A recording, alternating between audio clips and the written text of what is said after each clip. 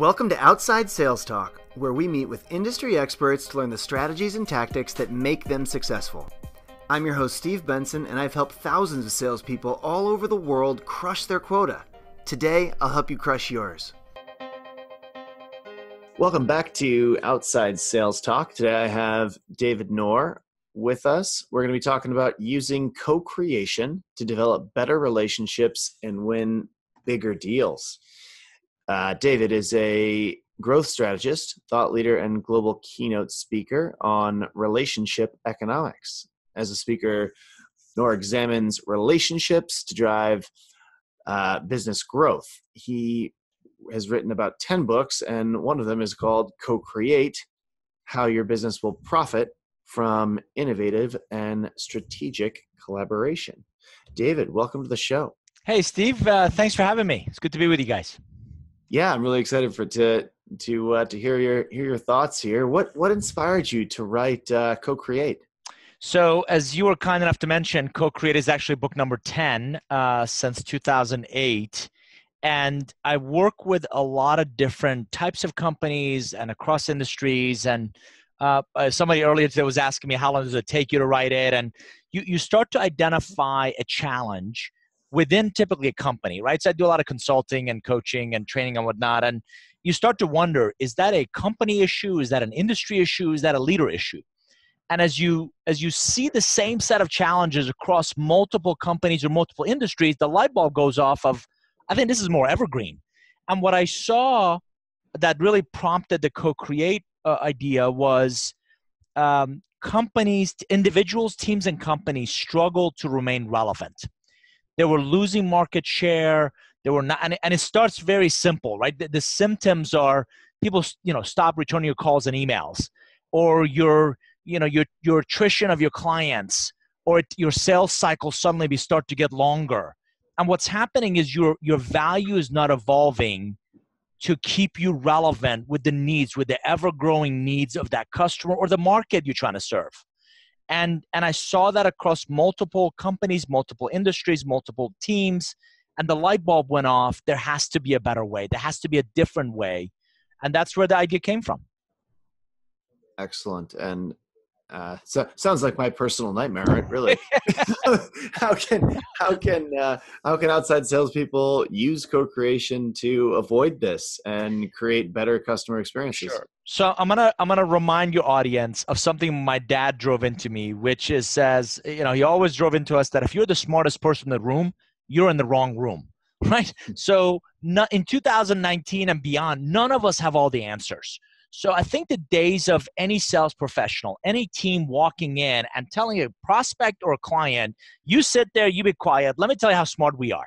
Let me tell you how great my stuff is. I think those days are numbered.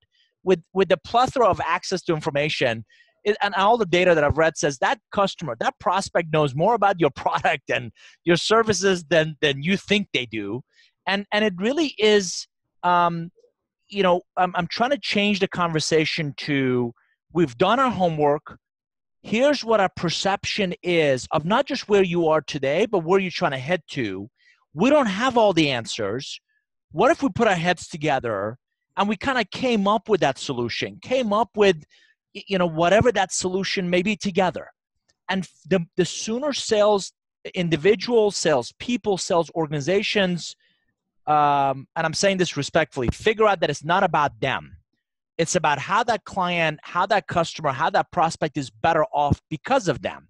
And as such, not everything you sell on the truck is going to be relevant and viable to these people. Mm-hmm. The sooner they'll start to think about what if? What if I brought in this other entity with me that really created a, a, a stronger value add? What if I um, really combine my technology with somebody else's that gave them not just data but actionable insights what if my tires came with rims and the rims came with not just install but rotation that created something beyond just what I do. And mm-hmm. I think that's that's that's the real opportunity to drive and we've proven drive incredible growth if you stop being the hero of the journey and really start thinking as your customers or your prospect as really the hero of the journey and you as the guide to help them get there. Does that does that make sense? Does that resonate? Yeah, it really does. So, so um, to paraphrase, uh, co-creation is where you're you're looking to you're looking to ba- combine your product or service with other adjacent products or services to create a solution that brings more value to your customers than just your point salute your point service or product could yes and yes and i don't want mm-hmm. you to just think of product service i want you also to think of ideas or perspective right? So i could bring a product or solution and mm-hmm. and, and this probably has happened to some of your audience members right? The customer's use of it is very different than what we thought they were going to do with it right? Or or they they say and they start to my favorite ways is uh, when a customer or prospect gets up on a whiteboard and starts like drawing or writing hey what if you took your product and solution and we did this or we took it in there? And so it's not just product and solutions it's also ideas and it's okay. perspectives and it's coming from a place of need that's number one number two most people think of it as just bilateral just you and i you're the prospect I'm calling on you. It's just you and I putting the heads together. We actually believe in multi. So, so what if there's another department or a function or a partner or somebody completely out of our industry that has come up with a really unique way to solve a problem using us as part of that solution? And mm-hmm. that's where we're finding some really exciting, really interesting ideas. So tell me how can how can these ideas how can how can co-creation help salespeople better understand their prospects? Love it. So i'm going to give you your audience three quick things. Number one i talk about listen louder. Listen louder. It's amazing to me steve that we listen with the intent to reply not listen to really understand and i listen i'm as excited about my products and services as anybody a really bad habit a lot of professional sales reps have is we interrupt. Yeah, yeah, yeah. I know what you're trying to say, so let me get three steps ahead of you to tell you what, you know, let me finish your sentence, right? Mm-hmm. Stop it. That's not helping you, right? Just stop. So listen more intently. Listen for not just what they're trying to do, but why are they trying to do it? And I would submit to you that a lot of salespeople's prospects know what they want, not what they need. The difference is their consultative approach. The difference is salespeople asking much more intelligent, much more engaging, much more with the right audience. That's interesting. Tell me more about why are you trying to do that? Tell me what the outcome is, right? So listen much more intently. I say again, listen louder. Number one. Number two, as quickly as you can, bring them in, give them permission, invite them in to the ultimate solution. So if you have a common mission, common vision, sometimes common enemy, like say overregulation, the sooner I can get out of that sales mode and really bring them into that's interesting. How would you do that? Or what would that look like? Or can you sketch that for me? Can you like can you can we just draw that on back of a napkin of what would that look like? The sooner I do that, the more ownership we've seen prospects take in the ultimate solution you create together. And the last one is um, you, you really gotta um, stop thinking that you have all the answers and you have the solution going into it. If you become naturally inquisitive, if you start asking more questions, I've always said, convey your credibility with the questions you ask, not necessarily the solutions you bring. So I love, and salespeople call on me. I've, I've been in client scenarios where salespeople have come and seen us. I love the ones that walk in and again, they're confident, they're capable, they're very knowledgeable. They earn your trust by asking uh, really interesting, really engaging questions that, and my favorite response is when the client says, That's interesting. I've never thought about it that way. I don't care what you're selling. If a prospect says, I've never thought about it that way, ding, ding, ding, ding, ding, you've just created value that they haven't thought of. And that's how it can really help salespeople better prospect, better understand what the prospects are thinking, and, and really create higher value sales, more profitable opportunities. That that makes a tremendous amount of sense to me.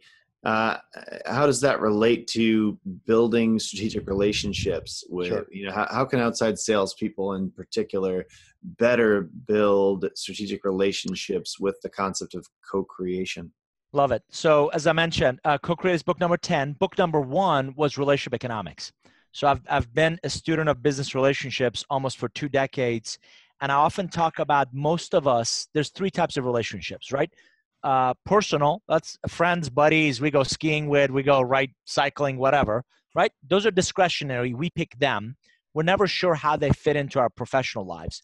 Functional relationships are people we put up with because we have to. Let's be honest, some of our customers, some of our colleagues, they may not be discretionary, but they're still safe in the context of our work together. Most people get those two. It's the last one they miss out on, which are really strategic relationships. Strategic relationships, by definition, elevate your thinking, they elevate your perspective.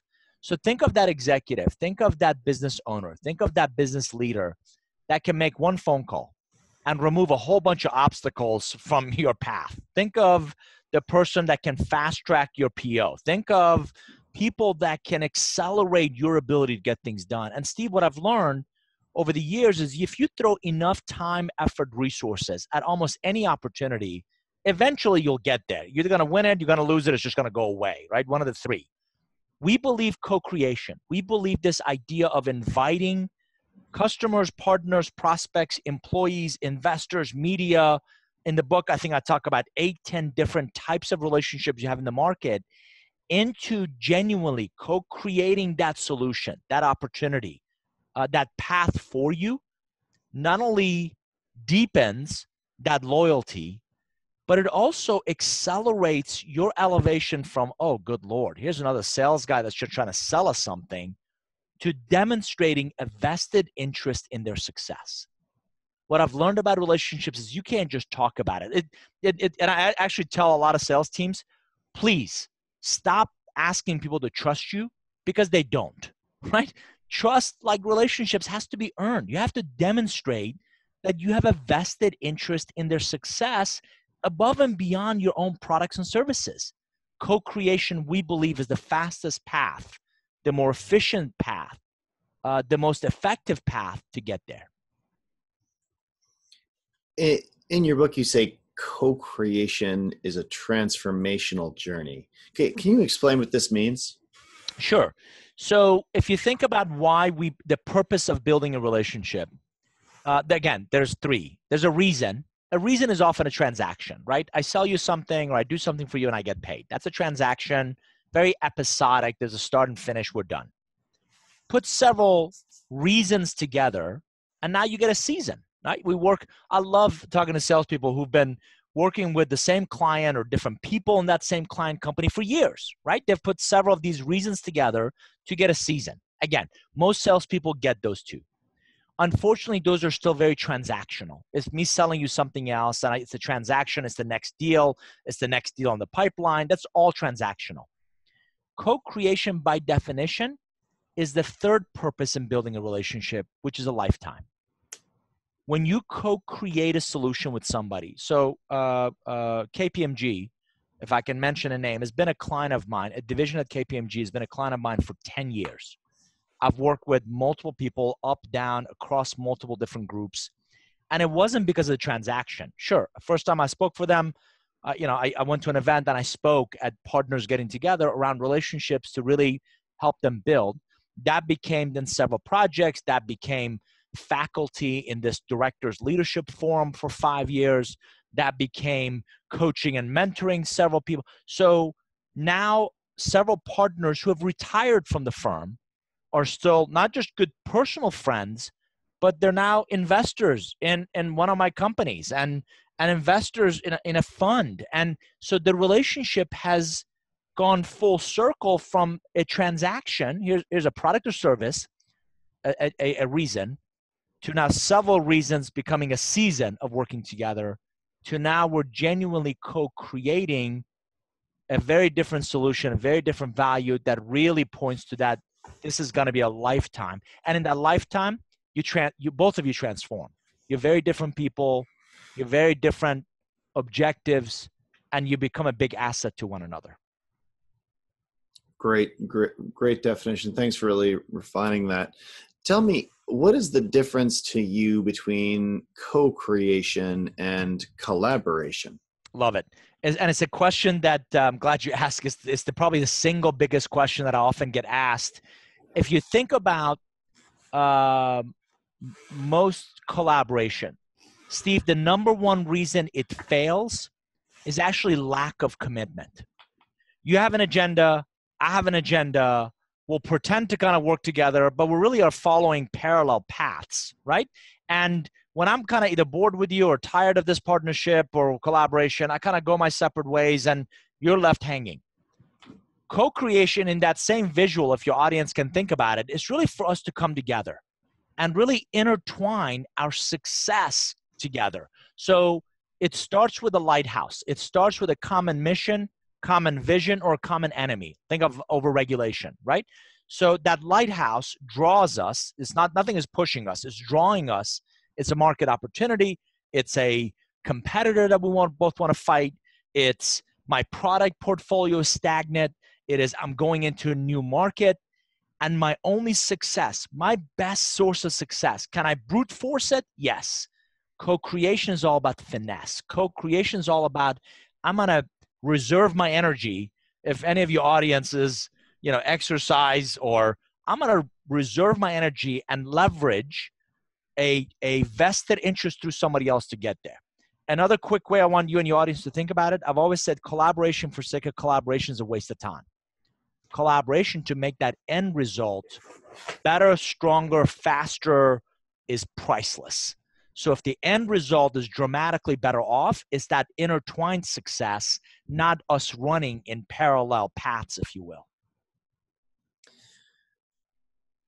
So, uh, and that makes a tremendous amount of sense. I, I, really like what you're saying here. What what can uh, what can outside salespeople do to create exponential value uh, in this way from their competitors. And ah. do you have an example of how to do that? Just to turn sure. this around sure that side yeah so so your audience would benefit from if they dig into a, a, a really interesting point that i that i talk about in the book uh, and i didn't come up with it um it, it the idea of co-opetition so co-opetition is all about one day i'm a head-on competitor with somebody the next day actually part of what we do and part of what they do works really well in this cooperative, in this co created value creation, right? So I think the days of seeing competitors as black or white are numbered, if not gone. And, and, um, it, you know, all kinds of examples of a uh, technology hardware company that uh, realizes that the hardware is a necessary evil what they really want to do is solve a business problem. So they work with not a systems integrator, not another software company, but an agency that is not going to sell the hardware, but that agency is going to solve the problem, which the hardware becomes an enabler of. Right? That's an example of they're competing for that same dollar, but because they choose to work together, they, they really find success. Or you think of um, uh, a, a Lego, right? you know, we we I don't know about you. I grew up with Lego, and it was boring, and it was you know only a few sizes. And if you if you haven't been to a Lego store lately, all the different themes, all the different parts and pieces they have, all the right, all of that is co-created. Here's the interesting part. Um, you, most of people have heard of hackathons. Think of a hackathon Lego style, where they bring people in to create their own creation in a competitive environment and then they take the best ones and they create a theme out of it and package it and sell it you know system wide so they're not coming up with all the ideas right? A lot of their people are. Mystarbucksideas.com 300000 ideas of people that are consumers of of that starbucks value that created food and created wine nights and art nights at your local starbucks and the little green stir that plugs up the hole so my coffee doesn't spill on me. So you got to stop seeing competitors black and white, really see opportunities for is there an opportunity for co-opetition? I still am not going to show all my cards, right? But I'm willing to work with them in specific scenarios where our joint value, and that's the real key, is much stronger than either one of us trying to go at it alone. Sure, if it creates customer value uh, to be cooperative, even if with a competitor, you can bring a superior solution that's going to, you know, generate that value. It makes total sense that you'd want to team up. Absolutely, um, uh, it's critical. Absolutely. So, how can sales managers Mm-hmm. work to prior, prioritize these co-creating collaborative interactions within their team That's again another great question. And at beyond the frontline contributors, I'm often asked, what can the management, what can the leadership do? I keep coming back to again, Steve, three ideas. One, they have to model that behavior. If the manager's so egotistical that he or she says, "Listen, I don't need them. All right, we got this. I we don't need to, do- you know, screw those guys. We can do this ourselves." That's not really modeling.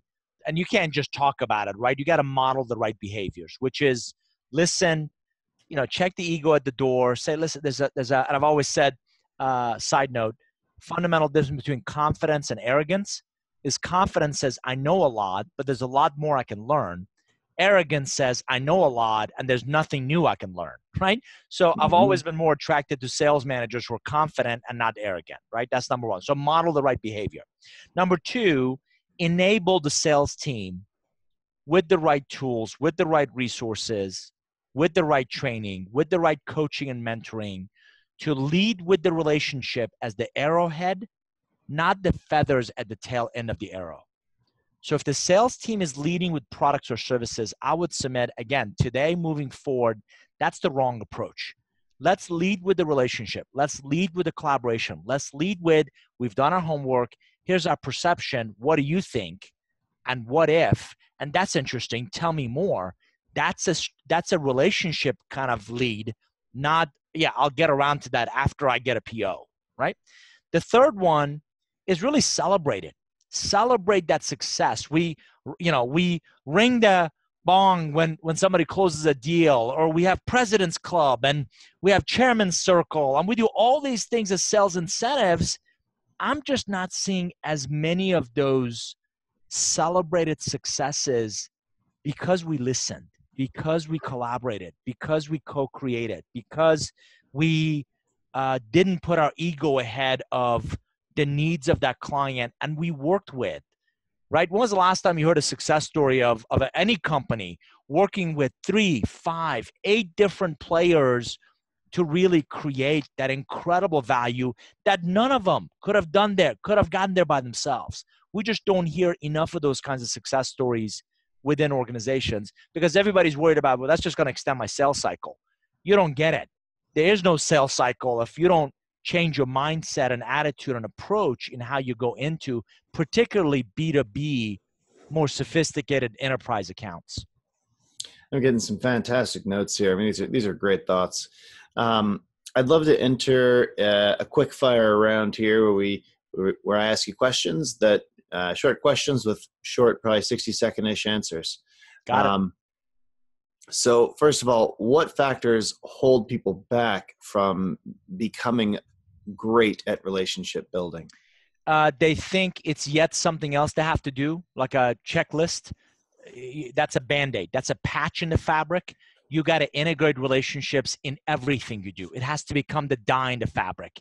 The dye in your shirt defines that that's a white shirt. The dye in my shirt shows you that there's a pattern that's integrated into it, not a patch that's going to be a afterthought. right um, what is the first thing salespeople should do after meeting a new prospect send them personal handwritten notes. We've gotten in our digital economy, and listen, I've been blessed by technology. My career started at IBM and Silicon Graphics and Business Objects, and I've, I've been in tech most of my life, but this will never replace this. So get out of email, get out of the stinking text messages, and take, and by the way, I, I try to practice what I preach, right? Personal handwritten notes are on my desk and we probably get out i probably get out 20 plus of these out a week because it sets you apart from everybody else.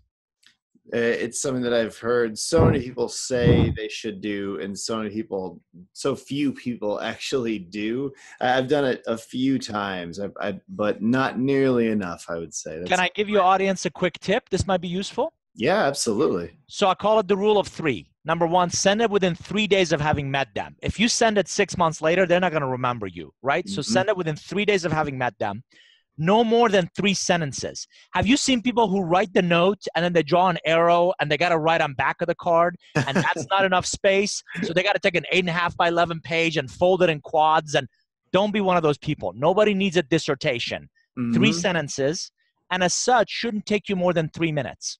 I love it. So if Great. you do that, and I have some in my car, I have some in my briefcase, if you stick to that rule of three, it's amazing how much easier it gets. Stamps are not that expensive. Last I checked, this is really worth it. And um, and when you you actually use a physical stamp again, and you hand hand write it, it sets you apart from everybody else. Yeah, no, I I think it's a great way to do it. Um, so uh, Maybe I should write you a, a handwritten thank you card for being I, on the show here. I got to. I'd be personally upset if you don't. I mean, especially since we discussed it, right? Right. Um, so, in your, what is, in your opinion, the number one mistake salespeople make when it comes to collaboration and co-creation? They revert back to what they know, which is a transaction uh, right? Mm. Uh, it, we've as long as I've known, as long as I've been in sales, and I'm dating myself. I used to have a lot more hair, Steve. I used to be a lot more handsome. I used to have a lot more hair. They're not even turning gray; they're just leaving. Um, it's a problem. It's a problem. It really is a problem. We all, we all face right. um, so uh, as long as I've been in sales, I've been incented. I've been measured. I've been incented. I've been rewarded. I've been recognized for transactions that's uh, it's it's great. You can't take your eye off the ball, right? We all have a nut, we all have a number, we all have quotas. The quota keeps getting bigger every year. You can't lose sight of that. But the minute you revert back to that, and that becomes your comfort zone because it's what you know, you're going to lose the opportunity to co-create because the transaction and the heat of crap, I got to get to my number this week or this month is going to just kind of take over. So ideal if you have some air cover, boss, manager, that believes in you, that supports you in, you know what, this is not going to be a deal next week, but I'm going to keep, and, and I've always have some short term, medium term, long term, small, medium, large deals in my pipeline. But anytime you can invest in the relationship and turn those transactions into transformations, into opportunities to really collaborate, I've always believed do the right things and the numbers will come. I promise the numbers will come. You just got to be very focused on how do, am I collaborating? Am I co-creating with the right people? I love it. Do you have any habits that you do every day, or routines, or rituals that that uh, you believe enhance productivity? Absolutely. Let me again. Let me give you audience. I like practical, pragmatic tips, and I I uh, I'm a big believer that we're all products of the advice we take. So let me say it again. We're all products of the advice we take and I've been blessed by some incredible mentors who've driven this into me. One mentor in particular, a guy named Alan Weiss, uh, drove into me what, what he calls the SUG list, S U G. To this day, and this has been 10 plus years going on, every morning before I open up email, before I sit to do anything else, I make a daily SUG list. So S is what is so serious that if I don't do it today, it's going to hurt me. It's typically my clients, it's typically my prospects, it's proposals, it's things I got to get out, right? We got to deliver on existing commitments. U is what is so urgent. If I don't do it, it's going to become serious and hurt me. So it's got to be next in line. G is growth. G is nice to have. G is, and you know, you can't ignore growth. By the same token, it's silly to work on growth when the house is burning down. So I make a list, no more than one page, no more than three to five in each of those buckets. And by end of the day, before I leave my desk or my office, I make sure at least I've covered all the serious, I've covered most of the urgent, and I've gotten even to one or two of the growth. But that SUG list can really help you stay focused on your biggest asset and enemy, which is your time. Um, taking some great notes here on, on this. this I, I, charge five dollars per good idea, ten bucks if you actually do something with it. All right, I, will have to I'll have to stick a check in with my you card here. Um, what uh, what, what are this is great stuff. What what are what are some other practical tips that you have? Um, I I I. Uh, I, again, I gotta I gotta put a plug in. Since you're sending me a check, I gotta put a plug in for your technology because for years I had a really large geography, or or even now I got to tell you, I, I love my bed. I love my wife. I don't want to go across town for just one meeting, much less across the country. So I'm a huge believer of, and again, an old sales manager drove into me. If you genuinely believe as a salesperson, your biggest asset and your enemy is time, I want to maximize that time. So, one specific example for you I spoke in Dubai. I'm not going to Dubai for one event. A, out of my own pocket, I, I went early, I stayed after, I got on LinkedIn, and I scheduled 14 meetings in three days in Dubai, none of whom I'd ever spoken to any of those people. So get very specific. My favorite day is five, seven meetings in a day. I've got my calendar, physical calendar of three months in front of me. I can tell you that April 23, 24, 25, 26, I'm going to be in these four cities. I start now. People are busy. So get on the stick, map out your plans, map out your routes, map out what's the most efficient and effective path for me to really maximize my time. I get up five in the morning. I, you know, by the time I work out, shower, shave, clean up, I'm at my desk by six, six thirty. If family's here, if I'm in town, I have breakfast with them. But I make it a productive day. And when my light is on a auto timer, goes off, um, you know, I'm going and spend quality time with the family, and then I come back after to go to bed. But really maximize my time and be efficient, whether I'm traveling, whether I'm on the road, whether I'm going to go see somebody. Fantastic advice. Um, well, I always think it's fantastic advice when people tell other people that they should be using my product, Badger. I, am biased, so don't don't listen to me. um, so, uh, what what uh, what what is what would be your top piece of advice that you would give, uh, or top thoughts to keep top of mind that yeah. you would give to our listeners? You know, sales managers, uh, oh, well, uh, sales managers of outside sales teams, people yep. who are actually in the field, field salespeople. What what would yep. you what would you say to them? I'm gonna reiterate again what a mentor drove into me, and he said back then, "There's money in those notes. There's money in these podcasts. There's money in these." conversations there's money in these lessons there's none of us have all the answers right and again dad drove into me life is too short to make all the mistakes yourself stop it right? You're not helping yourself. You got to learn from others people experiences. So i'm a huge believer and i hope your audience doesn't just passively and that's one of the challenges with podcasts right? I can passively listen when i work out in the car whatever. Make the time pull over right? Make the time to take some notes. Make the time to create an action list for yourself. And none of these ideas i know this stuff. I don't need to hear myself talk take some of these ideas and integrate them, implement them into your day, implement them into what you're doing and how you're doing it. You know what? Tomorrow, I'm going to make a SUG list. Tomorrow, I'm going to take all these stinking business cards that are on my desk and I'm going to scan them in and I'm going to follow up with a personal handwritten note. But here's what I hope your audience will hear the 1% rule says improve by 1% a day, and in 70 days, you're twice as good. This, Steve, this isn't about some exponential tomorrow I'm a superhero.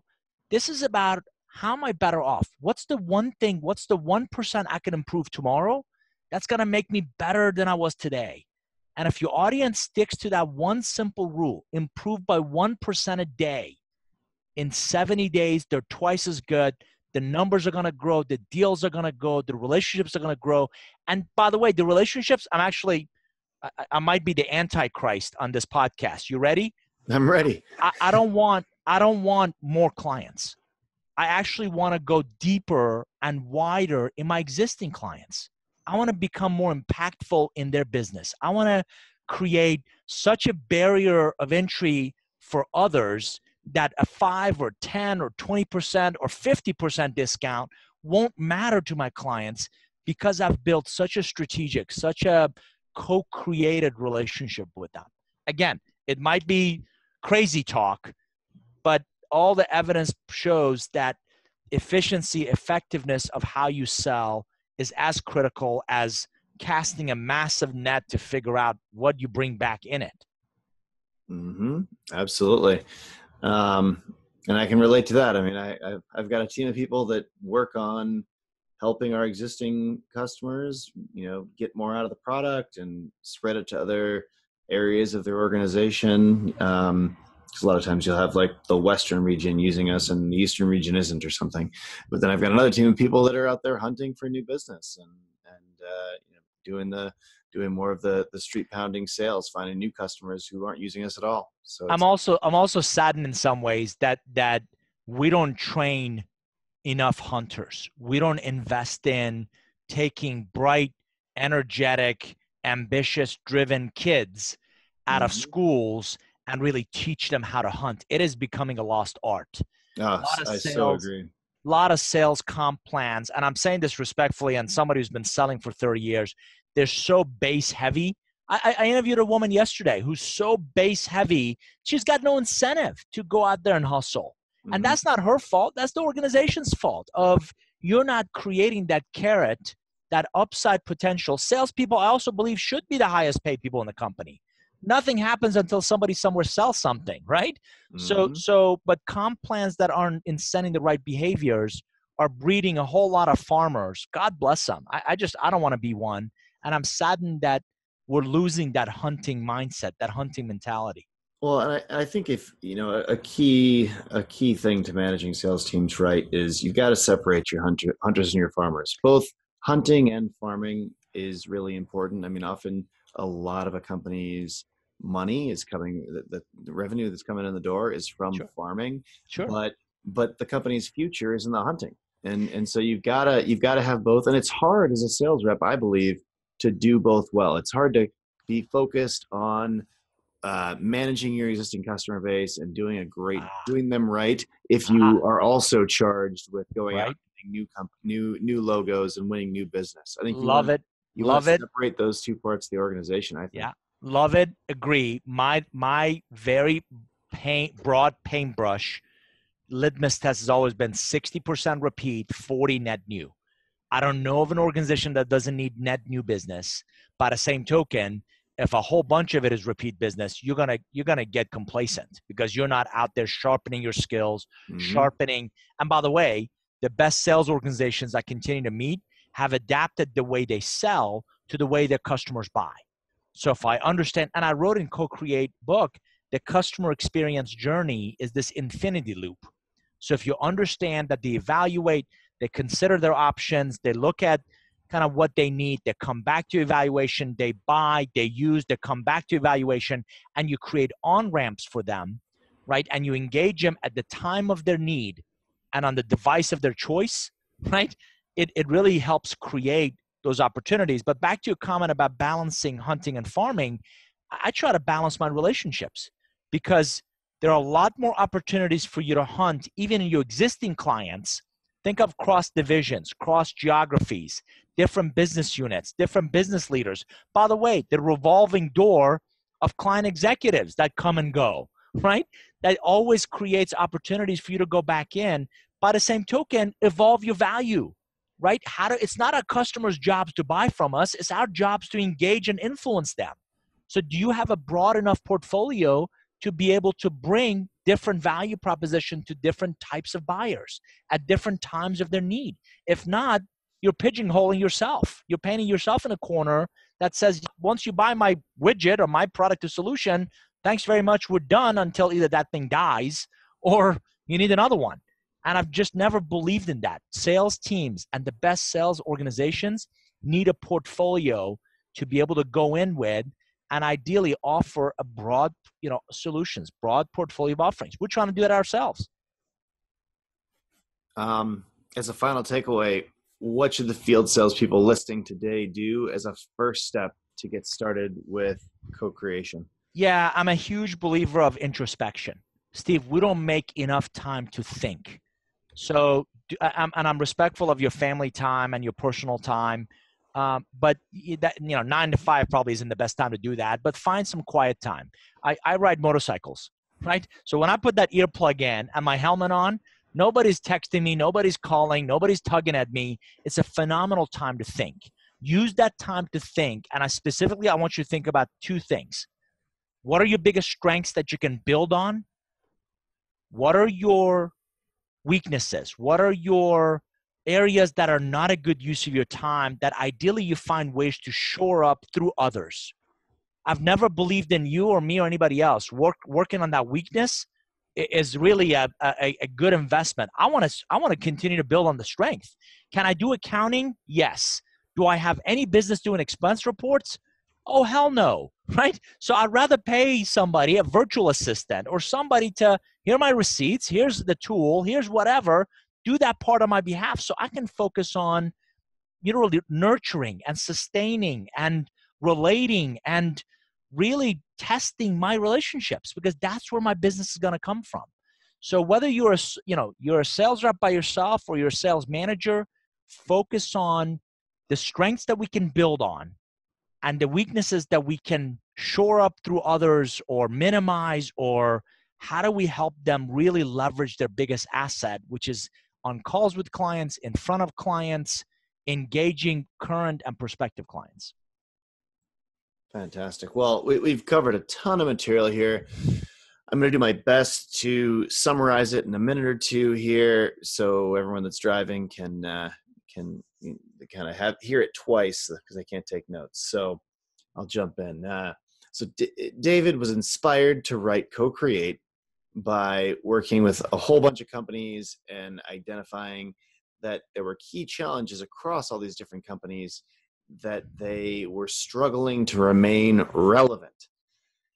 David saw a problem with the companies struggle, all these companies struggle to maintain value over time as the relationship progressed. Um, there's an opportunity to drive growth and to create value by by by co-creation working with adjacent products or ideas that work with your existing solution and creating these with the customer to build the value over time. Uh, maintain a, a, valuable relationship with that customer over time. Salespeople can learn to use uh, co creation by listening louder. And that means listening to really understand make sure you listen for what they're trying to do and and why they're trying to do it. Invite prospects and customers into the ultimate solution. Understand what they're really looking for. Stop thinking like you have all the answers going into the meeting. Learn instead learn to be naturally inquisitive. Be curious. Such an important characteristic for salespeople is curiosity. There are there are three types of relationships. So there's personal relationships, there's functional relationships. So you know, the, the people that we put up with because we have to, you know, maybe that you know annoying coworker or or you know your your mother-in-law. Um, not everyone's mother-in-law. Some are great.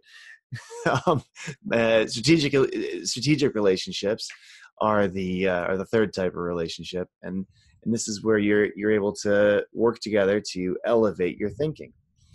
Um, these strategic relationships are people who can accelerate your ability to get things done. Co-creating allows you to build these relationships and work with these people in a way that you demonstrate that you have a vested interest in their outcome. Uh, the difference between collaboration and co-creation is that collaboration can often fail because a lack of commitment and and just working across uh, and just working to parallel success. Um, you know you you uh, you've got a co-creation co-creation's goal is really to come together by a common vision or a common enemy and work with someone else towards the same end result. Uh, the key is to intertwine the success. Sales managers and leaders can help salespeople with co creation by modeling the right behavior, by enabling the sales team to lead with relationships and collaboration instead of thinking about them after the fact, and by celebrating sales successes that come out of listening and working with others to co create.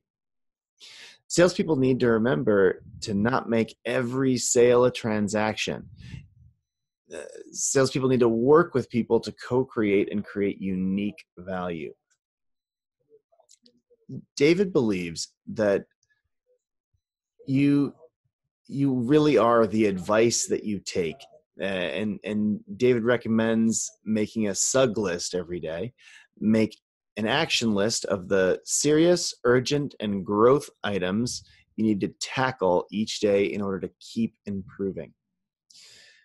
As a first step to co-creating save some time today for introspection to think about the strengths that you have and the weaknesses that you can work on especially leveraging others to to do the things that you're weak at for you um, and and work with others to build these co-creating relationships.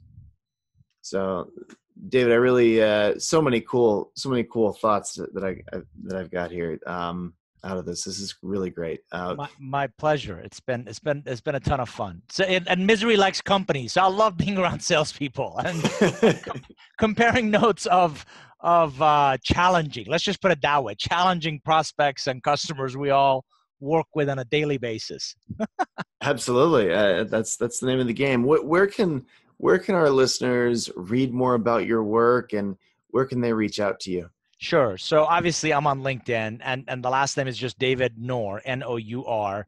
But you can also go to our website, which is just N-O-U-R group.com. That's our uh, that's our team. We're we're uh, Painter's House always needs painting. We're in the process of also updating our own website and adding more of the team and and uh, adding a broader portfolio of offering to it. But again, N-O-U-R Nour group.com is the best place to to find us. I'm on LinkedIn. I'm on Twitter. I'm on Insta. Uh, those are all great uh, great places, and it's typically just my my handle is typically my name.